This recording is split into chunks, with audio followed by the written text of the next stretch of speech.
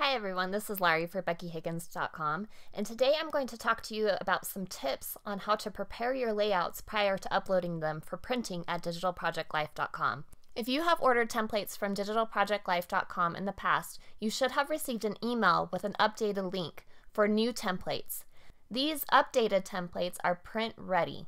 When you open your folder for your new download, you should see a subfolder that says Print Ready Templates, and then you will also see your original templates. If you are creating a template for the first time, we encourage you to go ahead and use the print ready templates so that they will be ready to print and you won't have to make any sort of adjustments.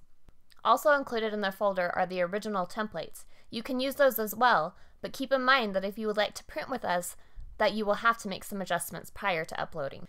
As a comparison, I want to show you the same layout used in two different templates. They are both using the rounded corner template, but this one over here on the left is the print ready template, and you can see that it has a wider border going all the way around. This one over here on the right is the original template, and you see that it has a thinner border going all the way around.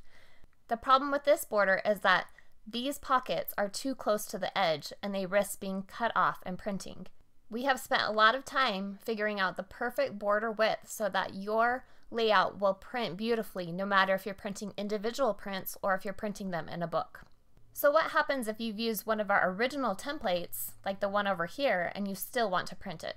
I'm going to show you how you can fix that really easily before you upload your print.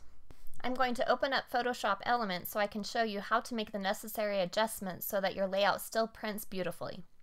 Over here in the Layers palette, I'm going to scroll all the way to the top and select my top layer and I'm going to scroll down to the bottom and I'm going to choose everything except for my background layers down here. So to choose everything, I'm going to hold down my shift key and then I'm going to click my last layer. You will see that it has selected all of my layers.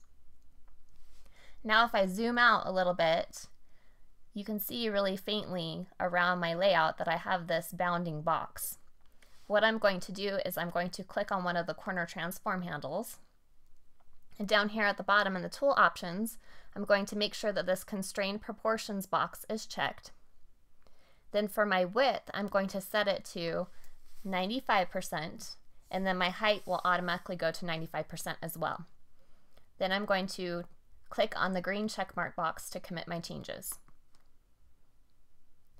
Now if I zoom back in, you will see that it has resized all of my pockets and all of my elements and my pictures beautifully.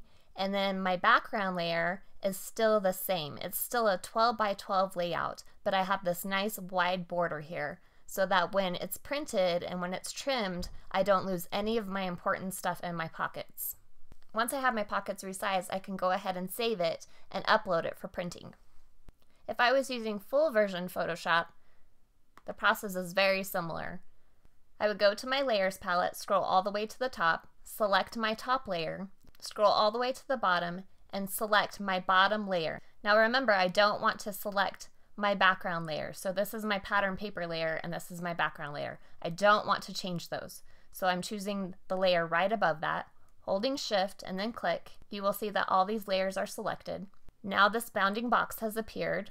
Click down on the corner transform handle. Up here at the top, I want to click on this chain which means it's going to constrain my proportions between my width and my height.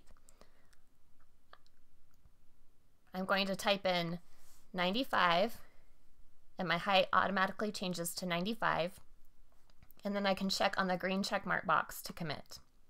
Now that these pockets are resized, you're ready to save it and to upload it for printing. Now once again, just to clarify, you only need to go through this resizing process if you've used our original templates or if you're using a template from another site. If you are using our print ready templates, you do not have to resize them. They are ready to go. If you have any questions, you can email us at digital at beckyhiggins.com.